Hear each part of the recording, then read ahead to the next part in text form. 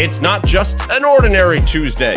Welcome to Terrier Tuesdays, the show where you can get to know some of Boston University's best and brightest student athletes.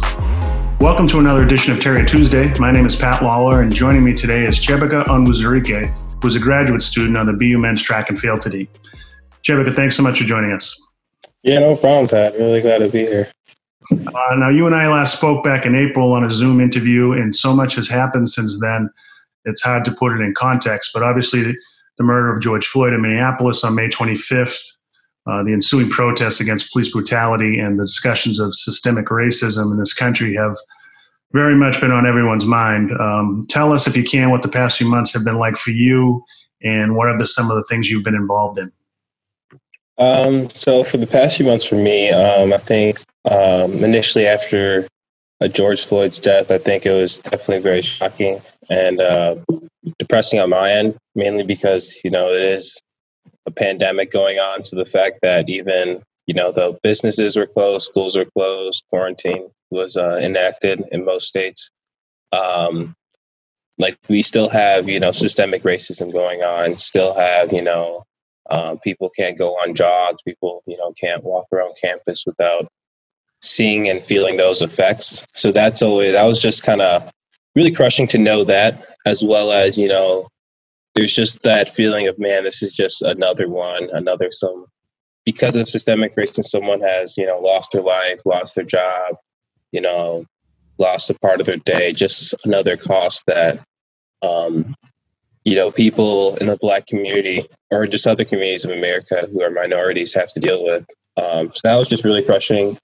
Um, you said what activities? Activities wise, you know, I actually haven't gone to any protests, but for the most part, I've been donating my money online, creating logos, and doing more things on um, the actual uh, spreading the news aspect from the from more, I guess, remote area. So um, uh, that's what I've been doing recently. Great. Uh, so the BU Department of Athletics announced today the creation of a social justice and inclusion committee, which is made up of uh, staff, coaches, student athletes, and you were chosen to be on that uh, group. Uh, please tell us what that means uh, to you and a little bit about what the committee hopes to accomplish. it really means a lot, especially because early after George Floyd's death, Drew um, had uh, a Zoom meeting where a lot of people, you know, the black community who felt very strongly of what just happened, um, could voice their opinions, not opinions, but voice their thoughts and feelings and have, you know, uh, people who may not resonate as much with the death or even just what's going on listen. And I think the first Zoom call had 100 or 200 people. And then uh, we had a, a subsequent Zoom call, which had close to 400 and more people um, both white, black, um, different races were able to talk and uh, share their opinions and at least know that people who were in our community or um, our athletics community were able to listen. Um, as great as that was, I'm really glad that we've shifted and taken all that energy and shifted it to a more constructive uh, committee that's long lasting than just you know this moment, this summer, uh, so that we can enact change on not just a student level, but a staff level, a coaching level, and a faculty level. So I'm glad it's hit from all fronts. Um, as well as, you know, I've always, I'm really glad that I was a part of it because as much as, you know, I've been, um, haven't liked the current situation, I've never been one to just kind of sit on, you know, my lump and just complain. So I'm glad I'm able to voice my opinions in a space where it can be heard and, you know, things can be done with it. So I'm really glad to be part of the community. Great. Uh, also, Student Athlete of Color Group was initiated last year, and you were a member of that group as well. Um, can you tell us about some of the discussions you had last year and how that work will help you uh, as you form this new committee? Yeah, so um, Student Athletes of Color uh, is a newer group um, by. Uh, at the time, I was heading out, um, going to be graduating, so I wasn't as an active role in um, in participating the discussions and whatnot.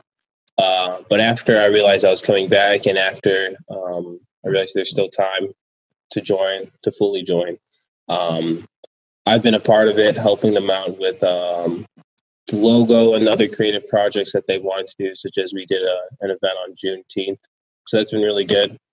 Uh, overall, the past few days, past few months, were primarily on the setup, such as you know the mission statement, some consistent times to meet, different events such as you know um, clean statement for going right now.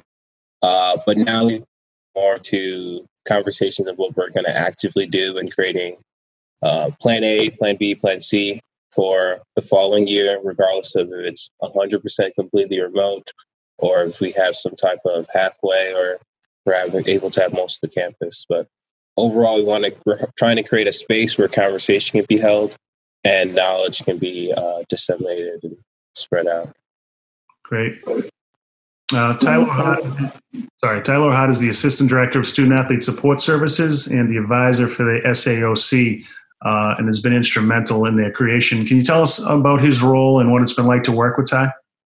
Yeah, it's, uh, it's been really, really great to work with Ty, especially since once he was brought on, he was the replacement for uh, the track and field uh, student advisor, academic advisor. So uh, I've known him since he was first brought on. Um, it's been great just working with someone uh, who looks like me, who ran track in college, who did high jump. Um, also, someone who is aware of just you know academia that's you know needed at a higher um, educated, higher education. Um, as well, it's been really good that since you know we've been able to connect so early on, he told me about you know how he wanted to create the student athletes of color and at least just pioneer it and help um, foster it. Um, so it's been really glad, really good that I've been able to work with him, as well as he's been uh, he's provided the guidance and also that consistency to get the ball rolling. Because after the ball rolling, I think there's people who will be a part of it, seeing that you know things are going on. But to initially get the ball moving, you know, uh, in the beginning, there's only a few people are in meetings, and then overall it starts to build up. As well as Ty provided, you know, the administrative skills that he has developed, that he has to keep everything focused, keep everything in a timeline, set meetings up, uh, as well as connect with other people outside uh, student athletes of color.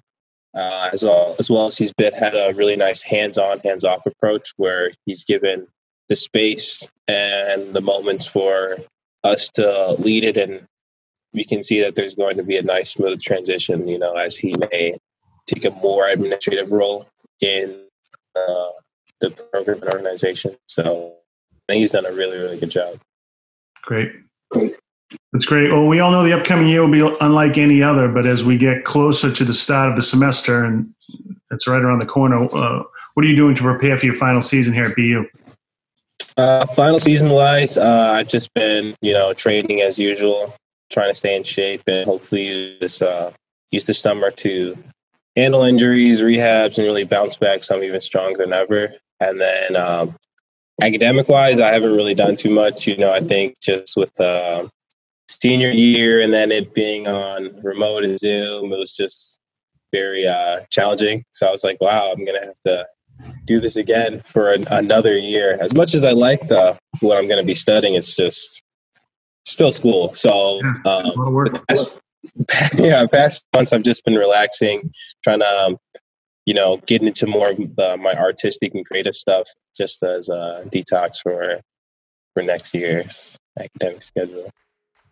Great. Well, well, thank you so much for joining us today in this edition of Terrier Tuesday. Uh, great having you once again, and uh, stay well. And we hope to see you in the fall. Yeah, you too as well. Thank, thank you. you. Thank you. Thanks for tuning in to Terrier Tuesdays. Give us a follow on our social media accounts at BU Athletics on Twitter and Instagram for more content.